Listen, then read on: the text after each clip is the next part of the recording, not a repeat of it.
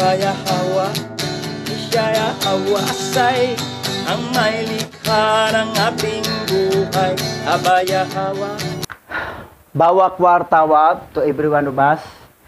Mga viewer namin, nandito na tayo ulit sa isang talakayan. Ang topic natin, ito po. There are four kinds of human emotions. May apat na oring na damdamin ng tao. So bago tayo magsimula, tayo po ay manalangin, Pastora. Tayo po ay sa mandaling manalangin. Our Aba Yahawa Alahayam, kami po ay dumudulog sa iyong banal na presensya sa mga oras na ito. Hinihiling po namin ang iyong pagsama sa amin sa talakayang ito. Ikaw po ang siyang manguna sa bawat isa sa amin. Luwalhatiin ka, o aming Aba Yahawa Alahayam, Bahasyam masyayak yawasyay. Bahasyam raw kakadas. Yaman. Yaman. Okay, simula tayo. So, apat na ori ang damdamin ng tao. Number one, sensory feelings. Pandama. Pangalawa, feeling state. Kalagayan ng damdamin. Pangatlo, psychical feeling. Sikikong damdamin. Pang-apat, spiritual feelings. Spiritual na damdamin. Okay, talakayan natin ang una. Okay, basa. Sensory feelings or pandama. Ito ay tumutukoy sa limang karamdamang pisikal o mga panlabas na pandama na nakapagdudulot ng panandaliang kasiyahan o paghihirap sa tao. Halimbawa ng mga ito ay ang una, pagkagutom, pangalawa, pagkauhaw, pangatlo, panlasa, kiliti, at panglima, sakit. Sa katotohanan, ang kasiyasiya ay higit na naiibigan. Ang ilan ay hinaharap ang hindi kasiyasiya bilang pagsasakripisyo tungkol sa pagtatamo ng mas mataas na halaga. Lahat ng tao sa buong mundo, maliban lang kung siya'y patay na, hanggat siya'y buhay, mayroon talagang sensory feelings. Yung pandama. Halimbawa, nagutom ako eh. Oh. Nadama niya, nagutom siya. Nabusog ako eh. Oh. Tapos maramdaman niyang lasa. Mapait man. Uy, matamis. Oh, yan. Yan ang pandama. Tapos, nakiliti, nakiliti ako. Oh, yan. Tapos, awa, sakit. Oh. Yan ang tawag na sensory feeling, pangdama. So, dadako tayo sa pangalawa.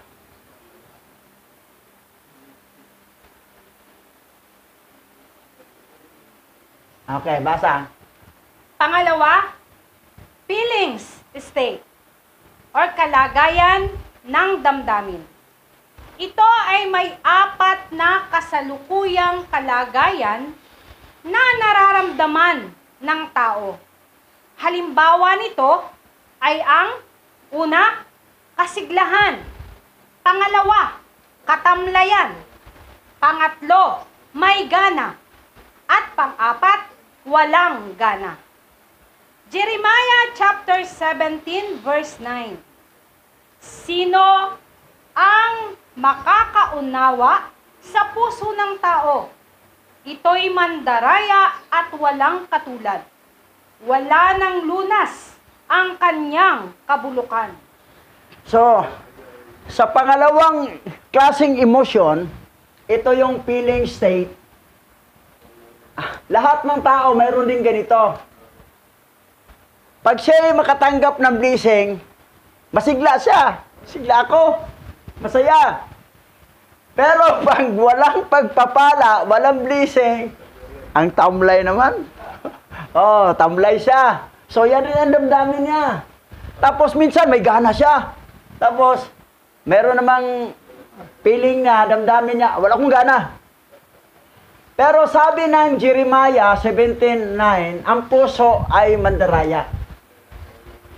Ang puso natin, mandaraya yan. Pag tayo'y sumunod sa ating emosyon, kasi ang emosyon nasa puso eh. Yan ang dahil kailangan na titira si Masaki Hawasi sa puso natin eh, para kontrolin niya. Pero kailangan, ang puso natin nasa baba, ang ating utak nasa taas. Kailangan mangibabaw yung nasa taas. Yung damdamin natin, kaya na kailangan mayroong consultation sa pag-iisip na tama ba to? Baka mali. So, mag-isip-isip. Hindi yung kung ano damdamin, bahala na, basta ito naramdaman ko, ito masunod. Eh, mali naman ang mga gagawin mo. Yun ang dahilan kung bakit marami mga tao palpak ang mga decision making, palpak ang mga plano, kasi doon lang sila nakatingin sa damdamin, doon sa puso. Hindi nila ginamit ang utak. Puso. Eh, ang puso nga, sabi ng Jeremiah 79, mandaraya eh. Walang lunas. Kung ang mga scammer, yung mga masasama, mandaraya, mismo sa loob mo, sa puso mo, may mandaraya. Dinadaya tayo. That's why na walang utak na dito ginagay sa baba, ang puso na sa taas. Ang puso na sa baba, ang utak na sa taas, para ang utak nasa taas, yun talaga ang mag-final decision. Lahat ng mga decision sa buhay natin, idaan mo sa utak. Yung damdamin mo, titingnan mo na, mali yata itong damdamin ko eh. Oh, ini, gamitin ang utak na, ah, ito, parang ito ang reasonable. Ito, parang hindi, walang katuwiran. O, yan. So, para ang tao makadesisyon ng tama. Sabi nga ni President Marcos, no, sabi niya, bago siya magdesisyon sa kanyang plano o anong naramdaman niya, 100 time niyang iniisip. 100 time iniisip. Baka nag, nag-isip ka lang 99, kulang pag-iisang piraso. That's why, ang iba nga, mag-isip lang, tatlong bisis lang mag-isip. Ipalpak, 100 time iniisip. Titingnan yung mga anggulo. Ano ba talaga ang tama? Ano ba ang mali? Ano ba ang dapat iwasan? Ano ba ang tamang gagawin? So, ito talaga mag-isip. Kasi, ang, ang puso kasi walang utak eh. Pero ang utak, utak talaga siya. kasi ang utak, nagtitimbang yan sa alin ang tama, alin ang mali. Nasa utak. Pero ang puso, walang, walang, hindi yan nag-iisip eh. Hindi, hindi naman siya utak eh. Ang ginagawa niya, pag ano naramdaman niya, abala na. Pag sabi na, ay, matamlay ako. Huwag mo akong guluhin. So, yan. Okay, tuloy tayo. Ah. Gayon, sabi rito, the heart in Hebrew word, bal. Bal siya sa Hebrew word, ang heart. Puso. Ang heart sa Hebrew, salitang bal. Sa, Heb- sa English ng bal, heart. Sa Tagalog, puso.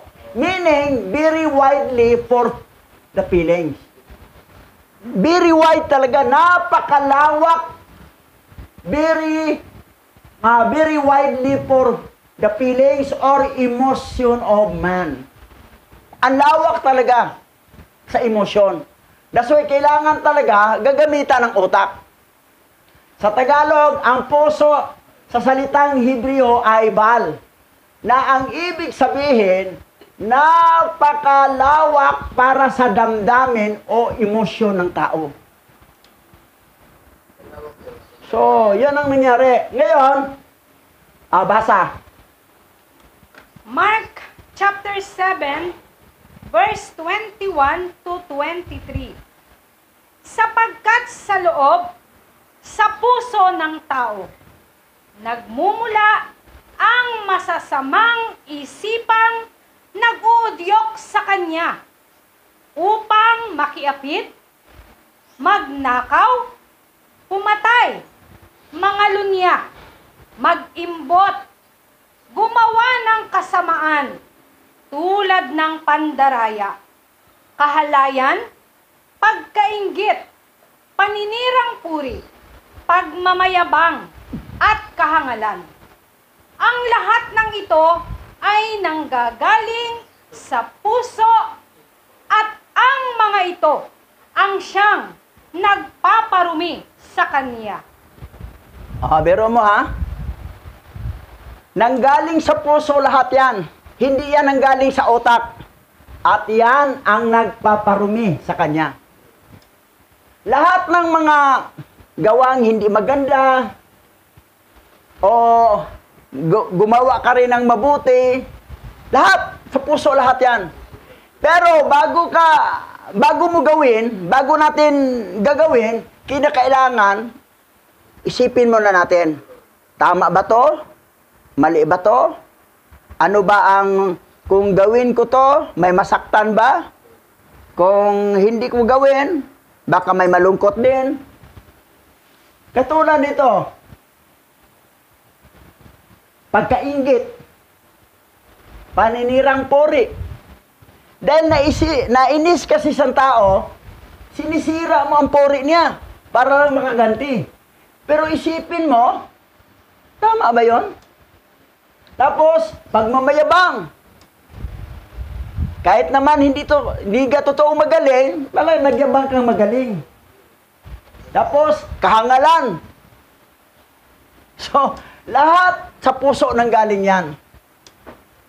So, ang ating gagawin para ma-change ang ating buhay, bad character into good character, ano man ang damdamin natin, ay kinakailangan gamitan natin ang utak. Hmm. Gamitan natin isip. Tama ba ito? Ang mga matatalino, 100 time mag-isip sa isang partikular na bagay lang. Ha? Biro mo, 100 time. Hindi talaga basta-basta magdidesisyon agad yan. Halimbawa, dalaga ka. May nagligaw sa'yo. Sagot ka ba agad? I love you too? Hindi, mag-isip ka muna. Sandali, mag-isip ako. Bigyan mo ako ng limang buwan. Saka kita sagutin. Hmm. So, so ganun yun. Kinakailangan mag-isip na ito ba'y tama, ito ba'y mali. Okay, tuloy tayo. Sabi rito, napakalawak para sa damdamin o emosyon ng tao. Ngunit ito'y mandaraya at walang katulad. So, nasa puso natin eh, lalo na kung walang raw kakadas na katira sa puso natin.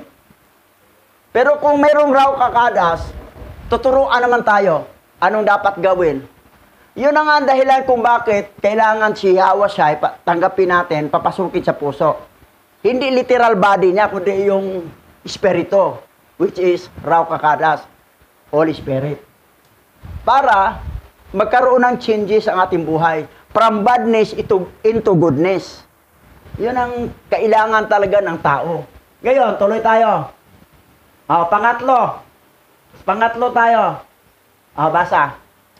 Pangatlo, psychical feelings. Sikikong damdamin. Ang pagtugon ng tao sa mga bagay ng kanyang paligid o sa mga tao na laging kasama niya ay nag-iimpluwensya sa kanya ng kasalukuyang kalagayan ng kanyang damdamin. Dahil ang tao ay may likas na kagalingan o kahusayan at may pagpapahalaga sa mabuti at sa masama.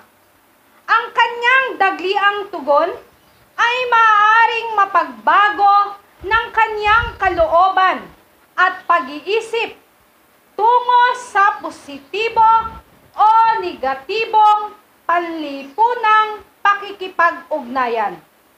Ilan lamang sa mga halimbawa nito ay sobrang tuwa, kaligayahan, kasiyahan, pagdamay, pagmamahal, kahinahunan, kalungkutan, pagkamuhi, pag-iyak, pagkapuot, pagkatakot, at pagkagalit.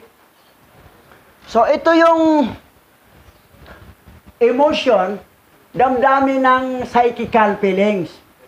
Ito yung mga klaseng meron siya. Sobrang tuwa. Tungtuwa siya.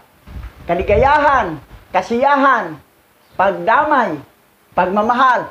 Parang medyo kahawig siya sa sensory feeling. Pero kaya lang na ganito ang karakter niya dahil sa kanyang environment sa kanyang mga kasama. Kung ang kasama mo sa buhay, o kaibigan mo, barkada mo, mga pasaway, pasaway ka rin. Ano yung karakter nila, ganon din ang karakter mo. Mahawa ka sa kanila. Kung sila ay matitino, ikaw ay pasaway, nakipagbarkada ka sa kanila, katagalan, titino ka rin. So, ang environment ang pinaka-importante. Sino ba ang kasama mo? Sino ba sila? May kasabihan eh, Tell me who are your friend, and I tell you who you are. Sabihin mo sa akin kung sino ang mga kabarkada mo, mga kaibigan mo, mga kaklose mo. At sasabihin ko sa iyo kung sino ikaw. Ngayon, binanggit niya ang mga pangalan. Eh, mga sugarol yan eh. Alam ko, sugarol ka rin. O, yan. Ngayon, ay isa naman, nagbanggit, itong mga kasama ko, eh, mga artista yan eh. Eh, artista ka pala. O, yun. Itong binanggit na may isa, ito yung binanggit niya. Eh, mga lasinggo yan eh. Mga palahubog yan sa Bisaya, ah, palahubog ka rin. Kasi yung environment nga eh. Lagi kong ginamit sa illustration ito. Ang isang batang Pilipino, sanggol ha, dinala sa Amerika. Doon siya lumaki. Wala siyang marinig Tagalog kasi inampon siya ng Amerikano. Lumaki ang bata, English ang napakinggan. English na rin siya magsalita. Hindi siya marunong magtagalog. Pero, ang kanyang kalahi, Pilipino. Pero bakit hindi siya makapagsalita ng Pilipino? Tagalog. Kasi yung environment niya, ganun din sa Amerikanong sanggol. Ang Amerikanong sanggol ay naiwan sa Pilipinas sa mga magulang. Nawala. Inampon sa Pilipina o Pilipino, isang pamilya. Eh, puro Tagalog ang mga salita. Eh, anong mangyari sa Amerikanong bata na yan paglaki? Tagalog. Marunong ba mag-English? Hindi. Kasi yung environment, malaga sa isang tao yung environment mo. Mahalaga. Huwag kang makisama sa mga taong hindi kaya-aya ng lipunan. Kasi pag samahan mo siya, kahit ka dating matino, ay mawala ang katinuan mo at ang ugali mo, katulad ka na sa kanila. Ganon. Yon ang psychical feelings. Tuloy tayo. Basa. Genesis chapter 2, verse 16 to 17. Sinabi niya sa tao, Makakain mo ang alinmang bungang kahoy sa halamanan, maliban sa bunga ng punong kahoy na nagbibigay ng kaalaman tungkol sa mabuti at masama. Huwag na huwag mong kakainin ang bungang iyon, sapagkat sa araw na kainin mo iyon, ay mamamatay ka. Ito, sinabi to ni Aba Yahawa ha, sa original Hebrew Bible, Yahawa po ang nakalagay. Sinabi ni Aba Yahawa kay Adan, wala pa si Iba doon. Sinabi niya, huwag mong kainin yan. Kapag kainin mo, mamamatay ka. Ngayon, ano nangyari? Ito si Adan, nga nagkaroon na siya ng kapartner na si Iba galing sa Tadyang, actually sinabihan naman ni Adan si Iba na, yan, huwag mo kainin ha. Sabi ni Aba Yahweh, huwag kainin yan. Ngayon, para sa kalaman sa lahat, hindi po si Aba Yahawa ang nagtanim doon sa Garden of Eden. Yung the tree of knowledge, good and evil. Sa Book of Jubilee po yun mabasa. Hindi siya ang nagtanim. Magtanim ba ang ang creator? Nag-create siya tapos sisirain lang pala niya ang mga created niya? Hindi siya ang nagtanim. Yung nalaman niya na may nagtanim, na makakasira sa tao, sabi niya, huwag mong kainin, sinabi niya kay Adan. Sino ba ang nagtanim dyan? Yung pangalang Lucifer na pantayan ng katastaasan. Siya po si Samael. At siya ang husband sa unang asawa ni Adan na si Lilith. Wala yan sa 66 book. Pag titingnan mo sa original Bible, kahit sa, sa 66 book, may pangalang Lilith doon. The first wife of Adam. Nilikha ni Abay Hawa ang tao, lalaking babae. Tapos, yung sa chapter 2, kinuhaan na ng Tad- Tadyang si Adan kasi wala na si Lilith. Lumayas dahil hindi sila magkasundo ni Adan. So, yan po ang kwento dyan. Na hindi dapat kainin. Kaya lang ang problema, si Iba ang unang nalinglang.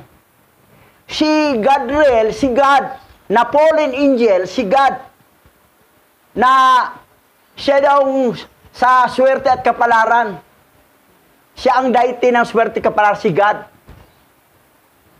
Ay pumasok sa ahas. Yung isa sa anak ni Jacob nga si God, tribe of God, doon yan kinuha ni Silpa eh. Na katulong ni Leah. Si Silpa ang nanay ni God. Kinuha niya yon sa idolatry ng fallen angel nga si God. Dahil swerte nga at kapalaran. Kaya lang, para malilang ang tao, ang salitang God, pinalitan nila O. Eh, naging good. Pero hindi nila i-pronounce good. God pa rin. Pero alam na ba ninyo ang grammar ng English? Ang salitang O at saka yo, maging sound Asia kapag may dalawang konsonan kasunod. Katulad ng Jan. Bakit Jan basahin? O naman yun. Di ba June dapat? June. O Jan. Kasi may H at saka N kasunod. Katulad ng Mami. A-M-O yan eh. Double M kasunod. Pasuway. Eh, bakit pag-pronounce Mami? Hindi Mumi. Kasi may dalawang konsonan kasunod. Ngayon, si God, pinalitag O. Hindi yan pwede basahin God dapat. Good yun. Pero ginawang God, kunwari lang, pinalitag O, pero ang sound, God pa rin, para malinglang ang sangkatawan. Nalinglang nga. Nalinglang talaga. Walang, aywan ko, analysis ang kulang. Yan ang nangyari sa mga pastor, mga bishop ng born again Christian. Hindi bali ang Roman Catholic kasi talagang likas na talagang ano. Kasi ito kasi born again Christian, okay naman dapat. Kaya lang, ang mga pastor kasi at may bishop, wala talagang ang emosyon ang kanilang pinairal. Hindi nila pinairal ang utak. E-research mo. Pag-aralan mo, bakit naging God pagbasa yan? Ako naman yun, G-O-D. Bakit naging God pag sound yan? Eh, pag sound yan, adi, God, God real. So, yan ang nangyari. Hosea chapter 4 verse 6, My people was destroyed because lack of knowledge. Kasi hindi kasi nag-aral. Kulang sa knowledge. Yan ang nangyari. Ngayon, tuloy tayo. Ah, basa. Dahil kumain ang tao ng bunga ng punong kahoy na nagbibigay ng kaalaman tungkol sa mabuti at masama. Sila'y nagkaroon ng likas na kagalingan sa paggawa ng mabuti at masama. Kaya't napakalaking impluensya sa tao ang uri ng grupo na kanyang sinasamahan. Sa mabuti man o sa gumagawa ng masama. Mm. Dahil likas na kasi sa tao ngayon na mayroon siyang good and evil. Mayroon siyang knowledge of good. May knowledge rin siyang bad. Kasi yung nakain nga ang punong kahoy na nagbigay ng kalaman sa mabuti at masama. Dahil sa knowledge din, sa good, anong nangyari ng tao? Di ba, nakakreate ng mga high-tech na gamit, nakakreate ng mga replano, nakakreate ng mga nuclear weapon, lahat ng mga posibleng gawin. Dahil sa knowledge na yan, ng good. Pero sa kasamaan din, nandoon din. Tambak din sa kasamaan. Grabe, walang konsensya. So yan. Ang ginawa kasi ni Aba Yahawa, ang tao, hindi tayo ginawang robot. Kasi yung pagpitas ni Iba, wala pa si Adan doon ah, at isusubo ni Iba ang isang bunga ng punong kahoy, pero sa Book of Enoch yan, anong punong kahoy yan? Na ano? Natandaan ba nyo? Anong punong kahoy yon? Ang Na lumboy. Lumboy. Lumboy yan siya. Hindi man sanas. Duhat o lumboy. Ang duhat, Tagalog, di ba? Salita. Ang lumboy ay Bisaya, Cebuano. Okay. Ngayon, lumboy po yun o duhat ang kinain. Hindi lansones. Kasi yung kinain kasi ni, ni Eva, hindi naman siya nagbalat eh. Diretso namang lamon eh. Pagkamalang dating lason. Eh kasi ang lansones, balatan mo pa kasi hindi makain yung balat eh. Ayo. Oo. Yun, diretso na. Ang mansanas, hindi pwedeng balatan, pwede kainin diretso. Pero ang nakalagay kasi, nagbubuig ng parang ubas. Hindi naman nagbubuig ang mansanas eh. Ang nagbubuig yung duhat at saka, ano, lansones. Kaya lang, ang lansones problema, hindi makain ang balat. Whereas ang lumboy, ang duhat makain. Eh, wala namang sinabi doon nga, nagbabalat pa si Iba at si Adan bago nila kinain ang bunga. Wala, diretso ng sinubo. So, lumboy yun. Lumboy o duhat. Gayon, dahil ang tao hindi ginawang robot ni Aba Yahawa, pwede naman niya harangan agad pag pitas, pag subo, biglang dumating sa Aba Yahawa, inagaw sa kamay ni Iba. Huwag mo kainin yan. Pero nandoon yung free will ng tao. Hindi tayo ginawang robot na parang sakal tayo sa mga decision making natin. Nan, ang ang ano kasi ang ang meaning kasi ng love nandoon yung pag-ubaya, pagbigay ng free will sa isang tao. Halimbawa, mahal mo siya, bigyan mo siya ng free will. Hindi mo siya sakalin na diktahan mo na puros, halos na lang talian mo yung ilong pag ano, parang sa rinda na sunod ka sa akin. Ah, yan. Ngayon, ang tao, sabi rito, napakalaking impluensya sa tao, sa uri ng grupo. Kapag pupunta ka sa isang grupo, na ito'y grupo ng mga sindikato, ano yung mga karakter nila, gano'n na rin ang karakter mo. Alam mo naman na sindikato yan. O musali ka sa grupo ng mga adik para kay nagdudruga, ah, yung mga barkada mo, mga adik, katagalan adik ka na rin. Hmm, yan. Ngayon, ah, basa. Halimbawa, kung ang nakapag-impluensya sa kanya ay mga masasamang tao, siya magiging masamang tao. At kung ang nakapag-impluensya sa kanya ay mga mabubuting tao, siya rin ay magiging mabuting tao. Napakahalaga. Yung psychical feelings, napakahalaga talaga yung salihan mong grupo. Suriin mo, anong klaseng grupo yan? Grupo ba yan ng mga grupong katinuan o grupong mga suail, sutil? Labag sa kautusan ng alahayam o labag sa mga hindi kat, walang katinuang mga ginagawa?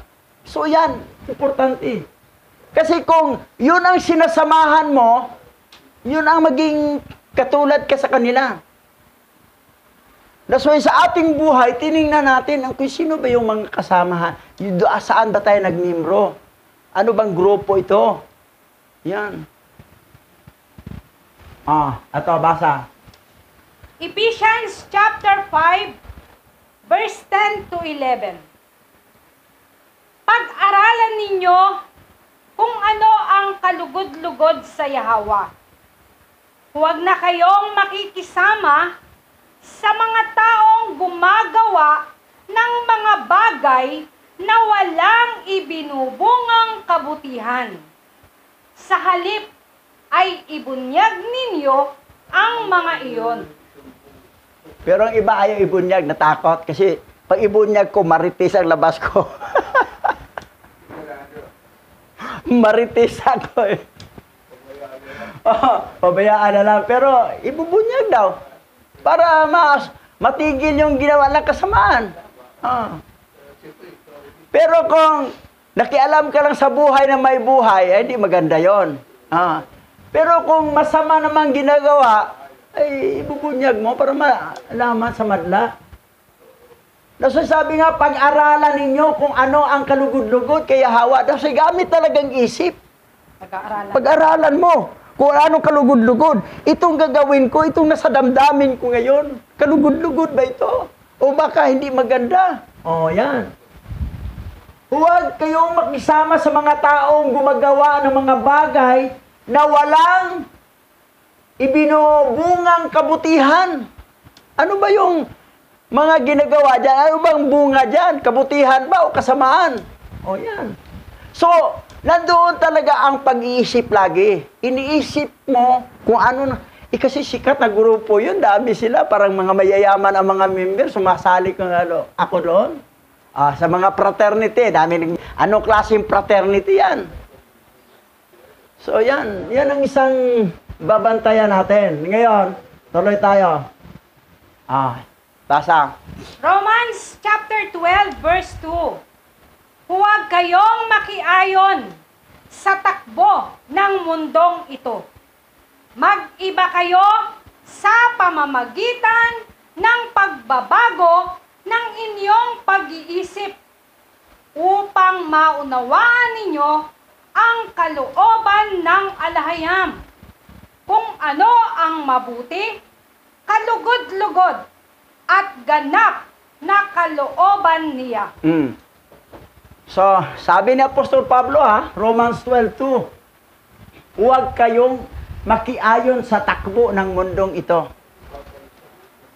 Ang takbo ng mundong ito kasi, dahil sa 66 book, walang kalam-alam ang mga tao kasi noon wala pang Google Translator, nila alam, basta tanggap lang sila itong Bible, ito.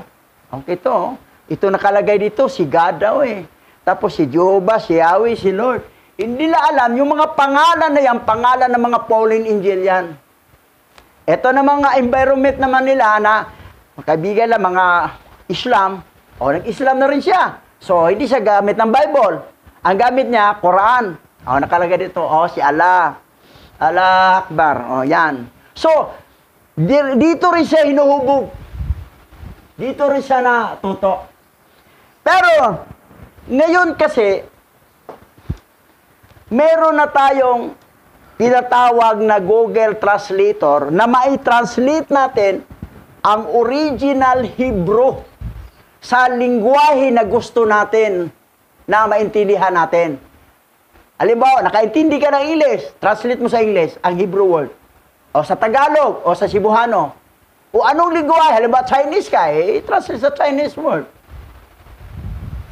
So, at least, direkta yung anong nakasulat doon sa original, direkta yung nasalid doon sa binabasa mo sa salitang naintindihan mo. I-compare mo ngayon sa Bible ng 66 na gawa ng Vatican Canon Law na kinakahon lang tayo sa 66 book. Ngayon, nalaman natin na ang Genesis 1.1 sa original nakalagay doon Barasayat, Baraa, Alhayam, at Hasamayam, Wat Haratasa. Alhayam ang nakasulat. Hindi God. Hindi Diyos sa Tagalog o sa Cebuano. Alhayam. Eh, sino yung Alhayam? Sino yung si God? Eh nga si God, si Gadriel pala yan, si Satan, fallen angel. Yung pumasok sa ahas, nga naglinglang kay iba, na mabasa sa Book of. Kaya lang hindi nila pinasok ang Book of para hindi mabisto si Gadriel, si God. Na siya yung naglinglang kay iba na pumasok siya sa ahas. Hindi nila pinasok ang Book of. Ngayon, yun ang sinabi ni Paul, alam niya eh, na huwag kayong umayon sa takbo sa mundong ito dahil ang mundong ito, lahat ng mga tao, puro God, God, God, God.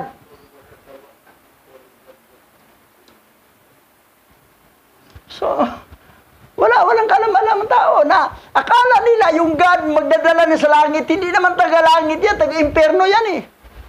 Fallen angel yan eh. Pero halos lahat ng tao. Tapos pag malaman ituturo natin, tayo pa ang ginawang masama. Eh masama ba ang turo natin na ang kinuha nating aral galing sa original Bible, sa kanila Bible ng Catholic Church, ng Vatican? Ngayon, alin ang tama? Yan na nga eh. Ah, tuloy tayo. Ah, basa. 1 Timothy chapter 6 verse 10 to 11 Sapagkat ang pag-ibig sa salapi ay ugat ng lahat ng kasamaan. Dahil sa paghahangad na yumaman, may mga taong nalalayo sa pananampalataya at nasasadlak sa maraming kapighatian. Ngunit ikaw, na lingkod ng alahayam, umiwas ka sa mga bagay na ito. Sikapin mong mamuhay ng matuwid. Makaalahayam, may pananampalataya, pag-ibig, pagtitiis, at kahinahunan. So yan ang payo. Sabi ng 1 Timothy, chapter 6, verse 10 to 11. Kasi, isa sa, kasi sa problema sa tao na maging masama, itong pag-ibig sa salapi o gugma sa kwarta. Gigugma ko ang kwarta. I love money. Iniibig ko ang pera. E ano sabi rito? Sapagkat ang pag-ibig ng salapi, ang pag-ibig sa salapi ay ugat ng lahat ng kasamaan.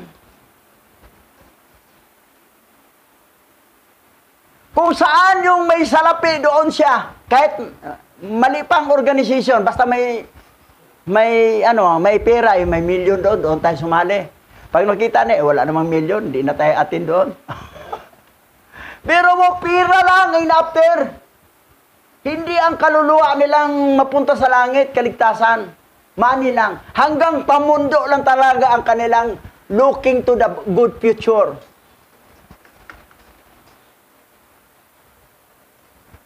Minsan ang tao tumitingin sa kinabukasan.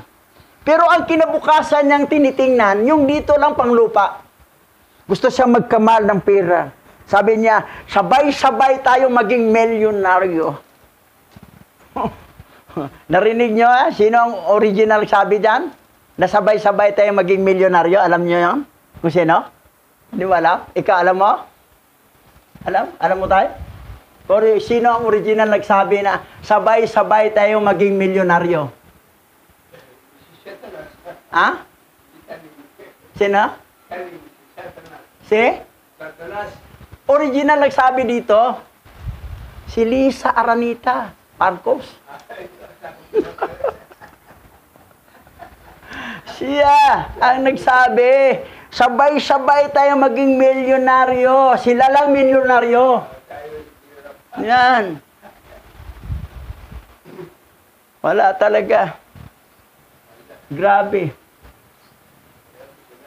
Waldas pera, kaliwat kanan, pero tingnan mo ang bigas, napakamahal. Gasolina mahal. Nag, nag-roll back lang konti. Wala nga, mga salbahe nga talaga eh. Walang awa sa mga mahirap. Ang kanilang tinitinan, sarili lang. Yun ang resulta ng the love of money is the root of evil.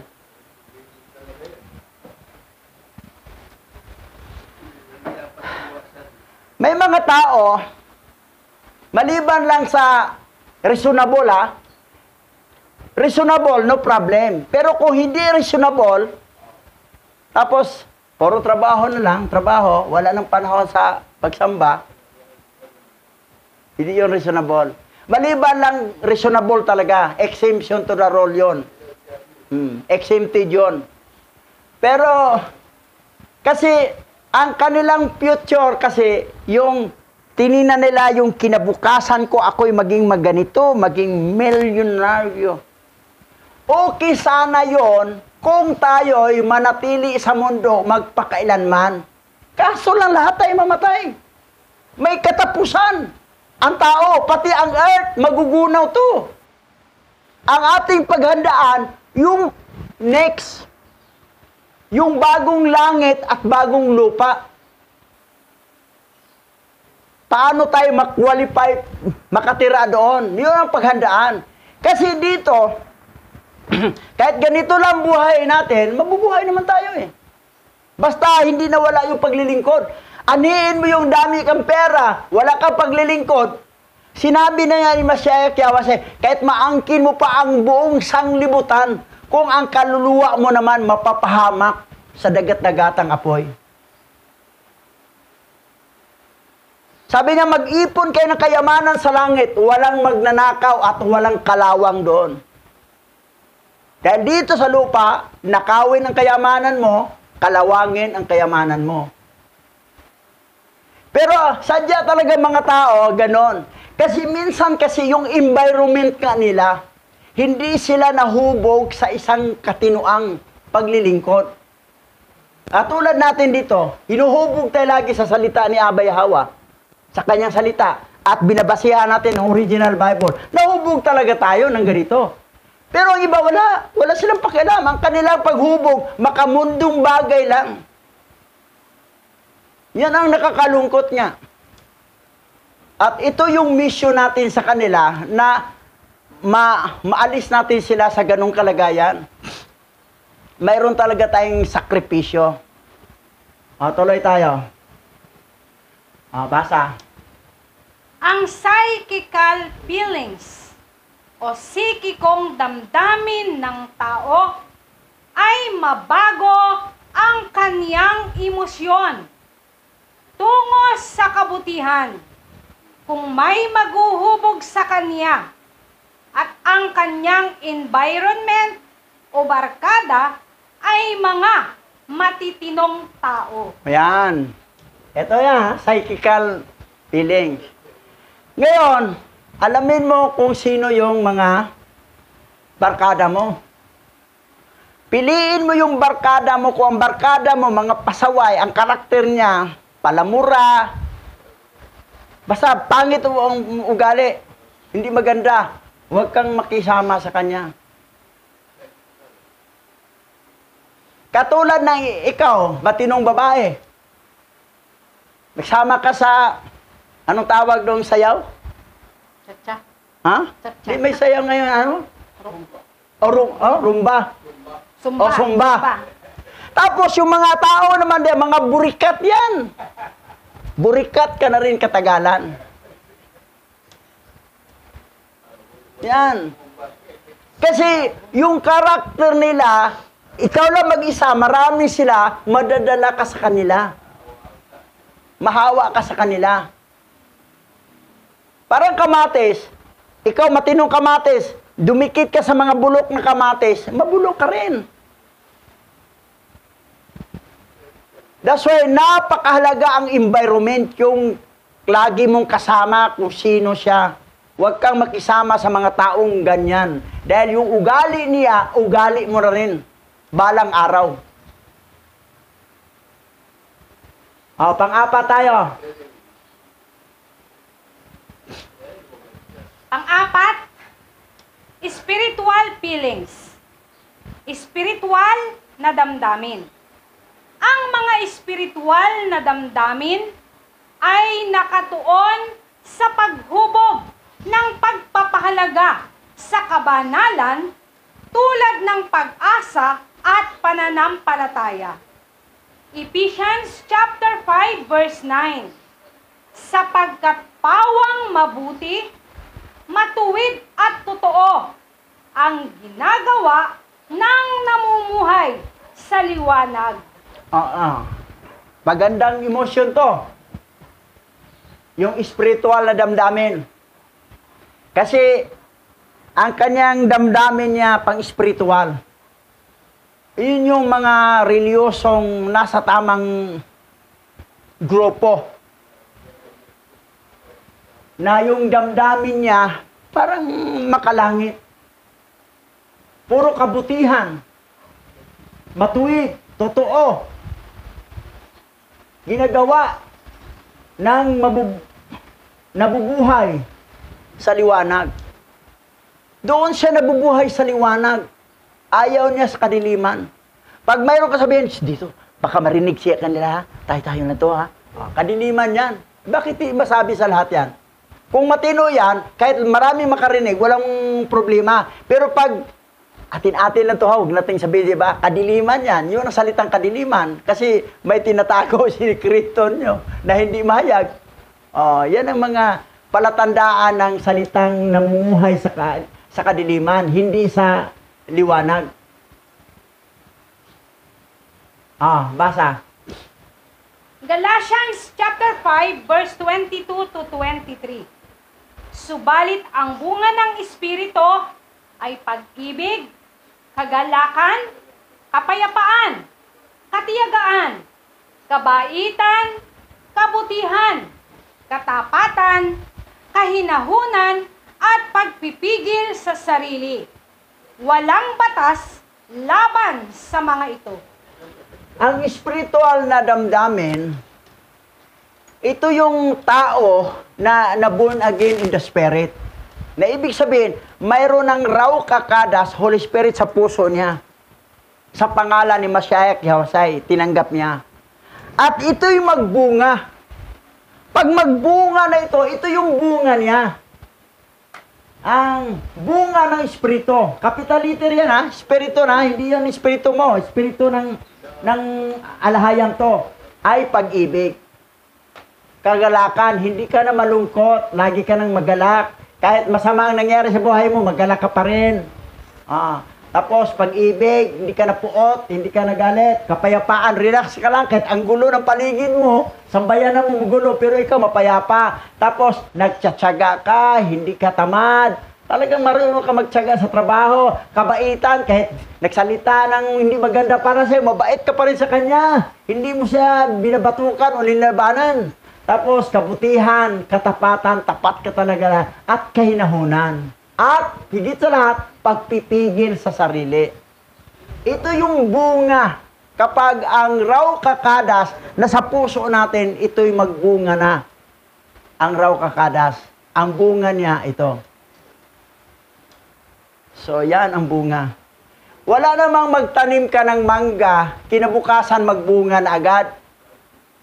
Dadaan pa na yung mga ilang panahon yan, mga taon. Yung nanana ang raw kakadas sa loob mo sa pamagitan ni Masyaki Hawashay, dadaan pa ng mga taon yan sa kapamagbunga na makita yung buhay mo na iba na kaysa dati. Magulat ka na, pasaway naman to dati, bakit ito mabait na eh? Bakit ito, ganito na siya? Oh, yan. Kasi nagbunga ang espiritu nga nasa loob niya.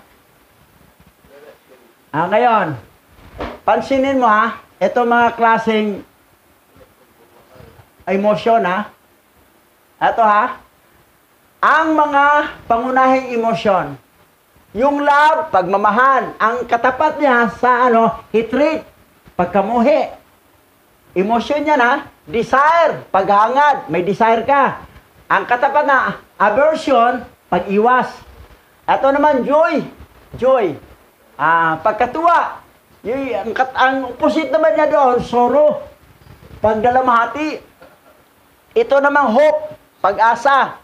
Yung damdamin mo ay hope, nag umaasa ka. Ito naman despair, kawala ng pag-asa. Ito courage, pagiging matatag. Ito naman per, pagkatakot. Ito yung masamang damdamin. Temperance, kahinahunan. Ito naman anger, pagkagalit. Magka-opposite yan. Ito ang klasing damdamin kapag mayroong raw kakadas, nagbunga ang banal na espiritu sa buhay natin, ito ang makikita. Hindi na ito. Pero kung ang mga barkada mo, mga pasaway, ito ang makikita sa karakter mo. Yung damdamin mo ito. Yan. Ah, basa. Ang mga emosyon sa unang hanay ay nakasisiya, ngunit nangangailangan ng wastong pamamahala. Bagawan, bagaman natuwa ka sa nakita mong chocolate sa inyong refrigerator, ngunit alam mo na hindi sa iyo. Ito kaya'y hindi mo dapat nakainin?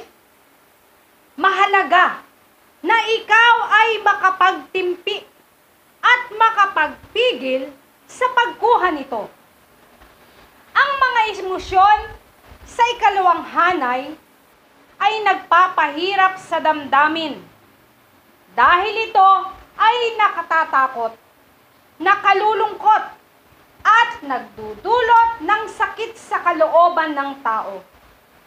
Maraming mga mag-aaral na ayaw nang subukang mag-aral sa kolehiyo dahil nahihirapan silang tustusan ang Hmm. Ang, karugtong. Ang, kanilang pinansyal na pangangailangan. Mas pipiliin nilang makapagtrabaho pagkatapos sa high school dahil natatakot silang hindi makapagtatapos sa kolehiyo. Sa ganitong pagkakataon, ay kailangan ang katatagan ng loob or sa Ingles, fortitude upang malampasan ang hirap at takot na nararamdaman. Ang bertod na ito ay nagbibigay ng kakayahan sa tao na malampasan ang kahirapan, labanan ang mga tukso at pagtagumpayan ang mga balakid tungo sa higit na maayos na pamumuhay. Napakahalaga na pinag-iisipang maigi ang gagawin, lalo na sa panahon na nawawalan ka na ng pag-asa at pilit. So, dito, napakahalaga na pag-isipan ng maigi ang gagawin. That's why na 100 time nating iniisip ang isang bagay na gagawin natin o hindi gagawin. Ito'y gagawin ko o ito'y hindi ko gagawin. Pag-isipan mo, nasaan ba ang mabuti? Itong gagawin ko, nakakabuti ba o nakakasama? Pag hindi ko gagawin, nakakabuti ba ito o nakakasama?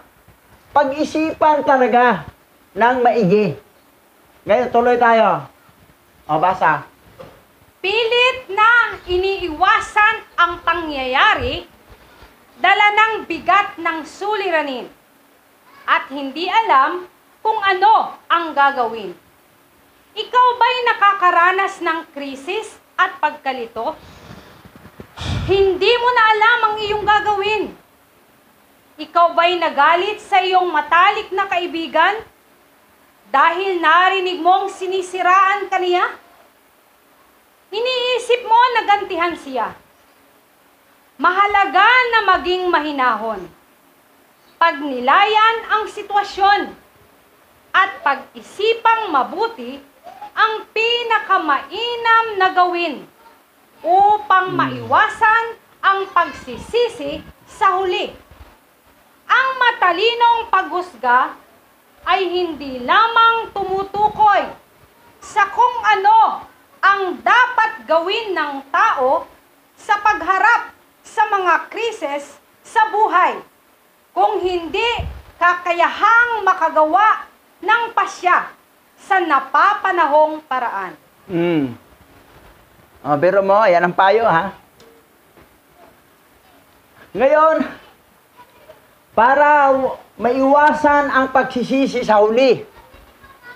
That's why iniisip talaga na maayos. Kaya lang iba kasi, nananamad na eh. Mag-isip ako marami, wala rin tayo isipin. Huwag na, hindi ko naisipin yan. Sakit ng ulo ko, para may migraine pa naman ako. Ayoko na, malulukan ako sa kakaisip. O, relax na muna, pero huwag ka agad-agad magdesisyon. O, pahinga mo ng utak mo, kasi kung may sakit kang migraine. Relax lang muna. Pero pag medyo humupa na sakit, mag-isip ka naman uli. Ito ba'y tama akong gagawin o mali? Ito ba'y nakakabuti o nakakasama? Para walang maiwasan ang pagsisisi sa huli. Kasi minsan kasi, ikaw ba'y nagalit sa iyong, ka, sa iyong matalik na kaibigan dahil narinig mong sinisiraan ka niya? Iniisip mo bang gantihan siya? O yan, ito. Pero mahalaga na maging mahinahon. Relax lang. Huwag gantihan. Relax ka lang. Yan importante. Sinisiraan ka, bala. Ito lang kasabihan, no? Kung ang sinasabi niya, totoo, eh bakit ka magagalit? Totoo naman sinabi niya. Sinabi niya sa'yo, totoo. Siniraan ka, totoo naman sinabi niya. Bakit ka magalit? Totoo naman ginawa mo eh. Pero kung hindi totoo yon, siniraan ka, bakit ka magalit? Hindi naman totoo. Uy, sinabi niya, hindi naman totoo. Bakit magalit? So yan, matotoo sa hindi, yung sinasabi niya sa'yo, hindi tayo magagalit. Kasi kung totoo, bakit ka magalit? Totoo naman. Kung hindi naman totoo, bakit ka magalit? Hindi naman totoo. O, di wala. di ka dapat magalit. Relax ka lang. So, yan ang desisyon ng tama. Hmm. Ngayon, tuloy tayo. Basa. May limang paraan na mapamahalaan mo ang iyong emosyon. Una, tanungin ang sarili. Hayaan ko bang magawa ko ang di karapat-dapat? O mas piliin kong gumawa ng makabubuti? Hindi lamang ang sarili ang nagiging biktima sa ating maling pamamahala ng ating emosyon. Mahalaga na ipahayag natin ito ng maayos upang mapanatili natin ang ating mabuting ugnayan sa ating kapwa at sa alahayam. O yan. Para mapanatili ang mabuting kaugnayan sa ating kapwa o sa alahayam, kailangan talaga lagi tayong gumagawa ng nakabubuti. Huwag gantihan ang masama sa masama. Masamang ginawa niya sa'yo, huwag mo yung masama. Kasi pag yung masamang ginawa sa'yo, gagawin mo rin masama, di pareho kayong dalawa masama. Eh kung gumawa siya masama sa'yo, mabuti ang ginanti mo, o di siya masama, ikaw hindi. Kaya lang, ang kalaban mo yung emosyon eh. Kasi ang damdamin mo parang gusto ko ng batukan. Oh, nag-inis ako sa kanya. Ginis. Pigilan mo yung sarili mo, yung emosyon mo. Dahil yung emosyon mo, mandaraya ngayong puso, gamitin ang utak na hindi maganda. Huwag gantihan ang masama sa pasama kasi pareho kami masama. Kailangan makita niya siya masama ako mabuti, hindi ko siya gantihan. Ang ating kalaban, sarili na. Ikaw emosyon na tumigil ka, ginamit kong utak ko, di ka dapat mangibabaw. Puso ka, madaraya ka, manluluko ka. Awayin mo yung puso mo na may emosyon. Yan. Ah, tuloy. Pangalawa, Tanggapin na ikaw ay takot harapin ang takot. Ngunit isipin na mayroon pang higit na magandang mangyayari. Maging positibo sa pagharap sa hamon ng buhay. Kailangan talaga positive lagi. Ang hamon ng buhay natin kailangan positive. Kasi ang ating katawan to, negative to, galing to sa alabok. Ibig sabihin, ang katawan natin ground. Pag ground, negative. Kailangan ang mind natin positive. Para pag positive, negative, may power. Pero negative ang katawan natin, ground to, plus ang utak natin negative, walang power. Puro negative. Kailangan ang mind natin positive lagi. Kasi ang ating katawan, whether you like it or not, is this is a ground. Negative talaga ang ground. So may power. Laging positive. Isipin natin, positive lagi tayo. Lahat, laging positive. Wala yung nagdududa, bakit ganito, bakit negative na yan. Tuloy. Pangatlo, isaisip na ang tagumpay ay hindi nasusukat sa yaman, kapangyarihan, at pagiging tanyag. Kung hindi sa kakayahan na mamuhay ng may pagpapahalaga at dangal. Mm. Mamumuhay ng may pagpahalaga at dangal. Yan ang importante. Hindi yung mayaman ako. Akala mo dahil mayaman ka, kaya-kaya mo nang gawin. Tapos, makapangyarihan. Mayroon kang posisyon sa gobyerno. Tapos, magiging tanyag ka, sikat ka. Kilala ang pangalan mo sa buong mundo. Sikat nga, popular ang pangalan mo. Kasi siguro artista ka o ano bang kasikatan na mayroon ka. Tapos makapangyarihan, may posisyon, tapos maraming pera. Pero hindi yan mahalaga. Ang mahalaga talaga, pagpahalaga ay ang dangal. Ang dangal, ingatan mo. Ingatan natin ang dangal. Importante ang dangal. Pangatlo yan, pangapat. Ah. Pang-apat, matutong tanggapin na may hangganan ang lahat ng bagay na mayroon tayo. Mm. Tao man o bagay. Hindi naman ito nangangahulugan na magiging wala kang pakialam o wala silang halaga sa iyo. Mm. So, matuto tanggapin na ang hangganan ang lahat ng bagay. May hangganan naman talaga tayo. Pati buhay natin eh. Dito sa lupa eh. Ang ating physical body galing sa alabok, babalik sa alabok to. Lahat ng mga property mo, kahit pa ikaw ang may-ari sa halos kalahati ng buong property ng mundo. Pero may katapusan yan. Ang importante yung dangal ang mahalaga. Mahalaga. Hindi yun isipin na wala tayong pakialam. Importante kasi yung ating relasyon sa ating may likha, ating creator, na maminti natin. Walang silbi yun eh. Yung kaligayahan sa pera, kasi masaya ka, maraming pera, makabili ka ng pagkain. Makabili ka ng pagkain, high blood ka naman, di ba? Matigo ka rin. Wala ka ng limit, pigil sa pagkain kasi marami kang pera, kain ng kain, kain. Nakakasama sa katawan mo. Oh, tigo ka rin.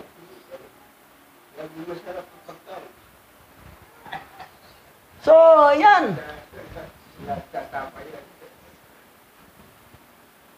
Oh, panglima.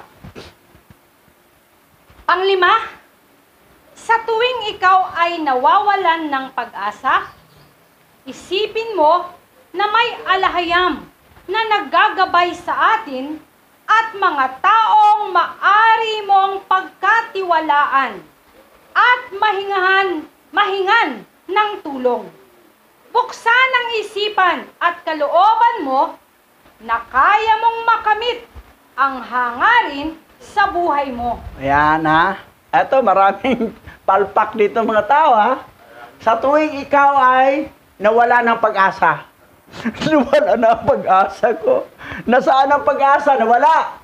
isipin mo na may alahayang na naggabay sa atin at sa mga taong maari mong makapagtiwalaan. Yung mga taong matitino, mapagtiwalaan mo, tutulong, tutulungan kanila at higit sa lahat, si Alahayang. Yan. Buksan ang isipan at kalooban mo na kaya mo kaya mong makamit ang hangarin sa buhay mo. So, lagi talagang positive, relax lang. Kasi minsan kasi dumating sa ating hirap na buhay, kasi di resulta yan sa maling mga plano natin sa nakaraan. Tumanggap tayo ng consequence. Yan ang nangyari. Pero ngayon, ingat talaga tayo sa ating mga hakbang. Para wala tayong pagsisisi sa huli. Yan. Ah, ito naman ha, ito ha. Ito yung nature. Yung circle of emotion. Una, normal ang emosyon. Normal, una. Aakyat yan, galit ka na. Tapos, horizontal, galit. Pababa na siya, back to normal. Ang galit ng tao, pag ganun lang yan. Hindi yung galit, manatili kang galit, kahit pa ilang taon, galit ka rin. Bababa yan. Yan ang circle ng emosyon. Nagalit ka ngayon, mayroon namang ibang tao nagalit, abot pa na isang linggo sa mawala ang galit. May mga taong ganon. Pero at least nawala. Pero may nagalit sa'yo, pero isang minuto lang, nawala ng galit niya. Biglang humupa. oh, mayroon mga tao, mabilis mahupa ang galit. Basta ganon yung circle niya eh. Normal, galit, galit, back to normal. Ganon na yan, galit, galit, back to normal. Oh, ganon ang circle ng buhay ng tao. Ngayon, ah, basa. Nakikita natin ang epekto ng padalos-dalos nating pasya at kilos dala sa mga negatibong emosyon na hindi napapamahalaan. Madalas ay hindi nagiging maganda ang idinudulot nito sa ating sarili sa iba. Hahayaan mo na lang ba na patuloy itong maging dahilan ng iyong hindi mabuting ugnayan sa iyong kapwa at sa alahayam? Kapag nakaramdam ka ng galit, ito ang dapat na gagawin mo. Una, mag-relax muna tulad ng pag-ehersisyo. Mm. Pangalawa, lumayo ka muna at manalangin sa alahayam. Pangatlo, magpalamig ka muna ng ulo upang hindi na lumala ang alitan. ito yung sikreto. Lalo na sa mag-asawa. Ito. Oo. Pag makaramdam ng galit, ah, ma-relax, tula na, puta ka, mag-exercise ka muna, oh. Tapos lumayo ka muna, manalangin ka. Huwag kang mong harapin siya kasi putak na putak ang bibig niya, marinig ka, lalo kang masar. Alis ka. Magparamig ka muna ng ulo upang hindi ka lumala ang alitan. Iwanan mo. Kasi pag magputak na putak siya, tapos umalis ka, siya na lang mag-isa magputak-putak, wala ka naman yan. Titigil din yan eh. Kaya nagputak ng putak yan kasi nandyan ka eh. Subukan mo umalis. Doon ka, mag-jogging ka, mag-exercise ka. O either punta ka doon, mag, na, manalangin ka. So yan lang sikreto. Kasi nangyari yan, kasi nakikita natin ang epekto na, mada, na padalos-dalos nating mga pasya at kilos. Kaya nangyari yan, yung mga decision kasi na padalos-dalos na hindi talaga iniisip ng husto. Decision, decision agad. Ngayon, ang resulta, mga palpak. Ah, ngayon, yung palpak na may magagalit. O either ikaw magagalit. So, para maiwasan, ito mga technique gagawin. Okay, tuloy. Basa. Ang mga iminungkahing paraan, kalakip ang mga birtud ay nakatutulong upang mapamahalaan ang emosyon at maging gabay sa pagpapasya tungo sa matiwasay na pamumuhay at maging produktibong miyembro ng lipunan. O, yan. Kailangan may mungkahi talaga na paraan, kalakip ng mga bertod ng makakatulong. So, nandoon talaga yung pag-isip. Tuloy. Hangad ng bawat isa ay magkaroon ng matiwasay, masaya at makabuluhang buhay sa pamamagitan ng mabuting ugnayan sa sarili, sa kapwa at sa alahayam. Kaya nararapat lamang na sa araw-araw nating pamumuhay ay piliing maigi ang mga bagay na pagtutuunan ng higit na pansin.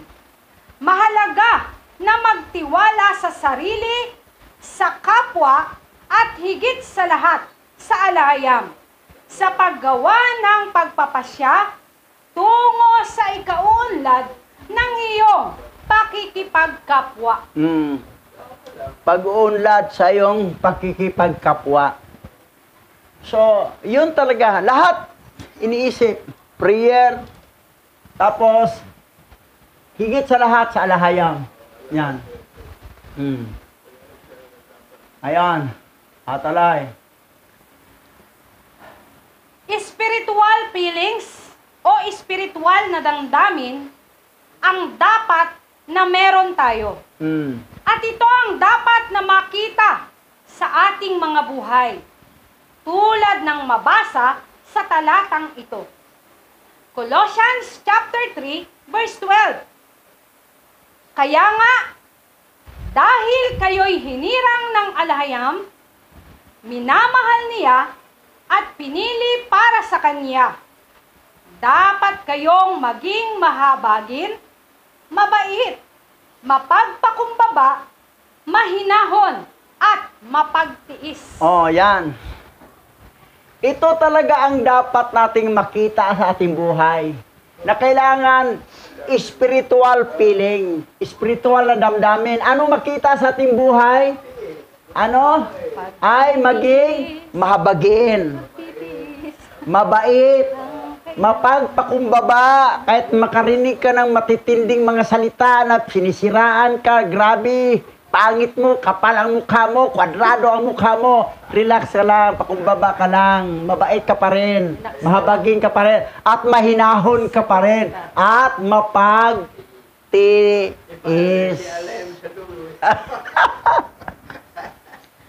Gayon, eto kasing damdamin ito, hanggang hindi magbunga ang raw kakada sa puso mo, yung kalaban mo talaga, yung emosyon mo, alam mo naman na ito ang ano, ang dapat. Kailangan damdamin mo, kumukontra dito.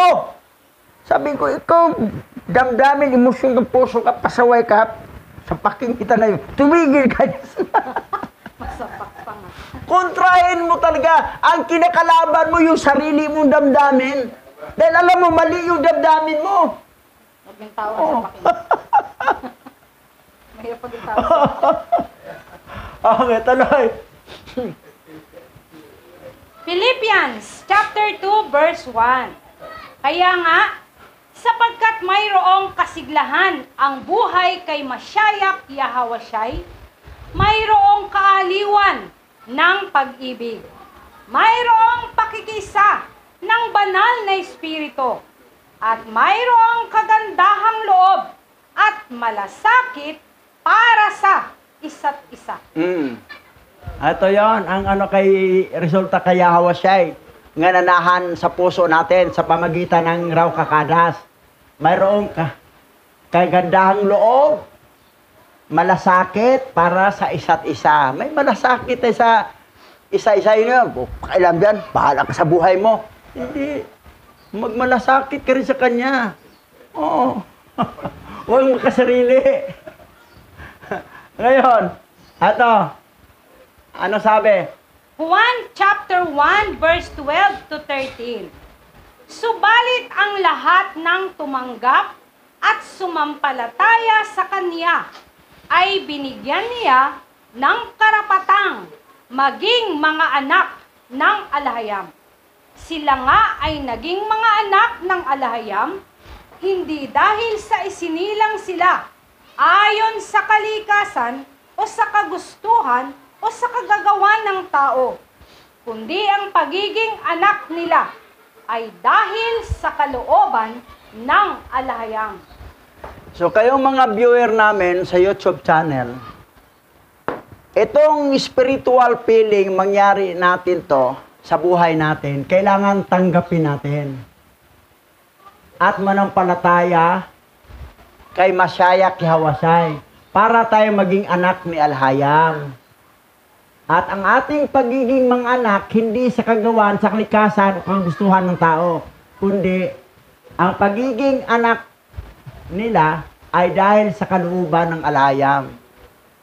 Tanggapin natin si Alahaya, si Hawasay. Si Hawasay, si Alahayam siya eh. Makapangyarihan eh. Kasi si Yahawa yan, nagkatawang tao, Yahawa Alahayam. Nagkatawang tao siya, Yahawasay, Alahayam pa rin. Hindi dalawang Alahayam, isa lang. Hmm. Ngayon, ito na ngayon, basa. Revelation chapter 3 verse 20. Nakatayo ako at kumakatok sa pintuan.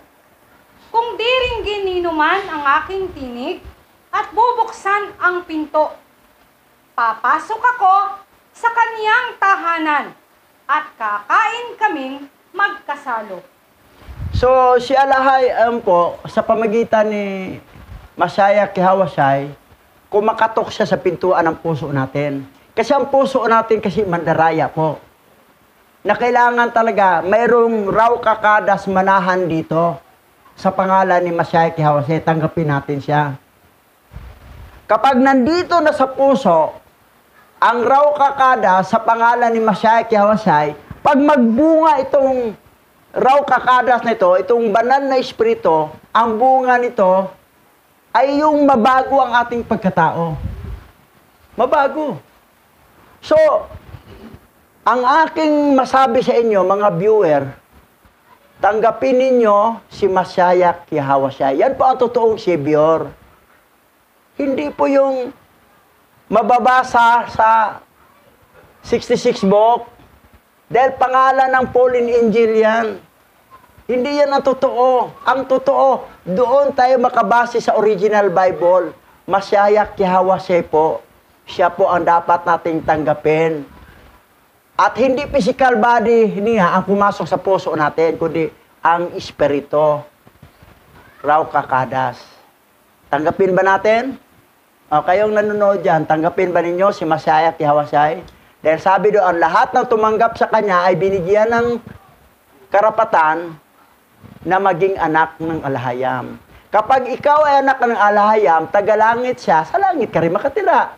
Kung anak ka ni Satanas, saan ka makatira? Doon sa tatay mo, sa impyerno. Kasi taga-impyerno Satanas. Eh, ang pangalan ng 66 book nakalagay doon, puro mga pangalan ni Satanas yan. Pauline Angel na naging Satanas. Yun ang nakakalungkot nga, nalinglang ang buong mundo. Ito na ang tamang tatanggapin, si Masyaya Kihawasay. Tanggapin mo sa puso at dito ngayon. Ngayon, sabi niya, nabago naman ang buhay ko. Tinanggap ko si Jesus Christ. Mandaraya nga ang Diablo eh. Nagkunwari siyang anghel ng kaliwanagan para malinglang. Kunwari na bago rin buhay mo. Pero hindi yan lubos. Kasi mali ang pangalan ang tinanggap. So ngayon, ito na ang pagkakataon. So huling salita, Pastora. Yan lang. So sa atin pong mga sa akin pong mga kababayan na nakikinig at nanonood ngayon sa YouTube channel, bawak our tawag po to every one of us at sa kapwa ko Remnant Hebrew Israelite. Shout out po sa inyong lahat. So, napakinggan po natin na napakaganda ng naging topic po natin sa araw na ito na may kinalaman sa tinatawag na emosyon or damdamin. Meron palang apat na uri ng emosyon. Na una ay ang sensory feelings.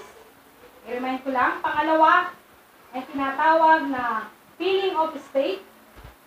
pangatlo ay ang tinatawag na ah, psychical feelings at ang pinaka-the best sa lahat, ang pang-apat ay ang spiritual feelings. So, napakaliwanag po ng ipinaliwanag sa atin ngayon patungkol sa mga emosyon na ito. So, lagi po natin itong tandaan at unawain mabuti. Yun lang po. Okay, closing prayer tayo, Pastora. So, manalangin po tayo. Maraming salamat po, o aming Aba Yahawa, na muli ay sinamahan mo po kami sa gawain ito. Ikaw nga po ang siyang maparangalan sa lahat ng aming ginagawa. Patuloy mo po kaming bigyan ng lakas ng loob at kakayahan na manindigan sa tama at gawin kung ano ang naaayon sa iyong kalooban. Mamuhay kami bilang isang mabuting tao. Mamuhay kami na katulad ni Mashayak Yahawashai, katulad ng kanyang karakter, katulad ng nais mo na makita sa aming mga buhay o aming abayahawa. Salamat po sa patuloy mong presensya na nararanasan namin. Tunay nga na sa iyo lamang namin ibinibigay ang lahat ng kapurihan. Kalhalal abay hawa alayam. Bahasyam masyayak yahawashay. Bahasyam raw kakadas. Yaman. Ah, mga viewer, ah, patuloy kayong sumabaybay sa ating YouTube channel. Ah, thank you for your watching. Mag-like kayo at mag-comment. So, Biblia sa inyo, Shalawam. Shalawam.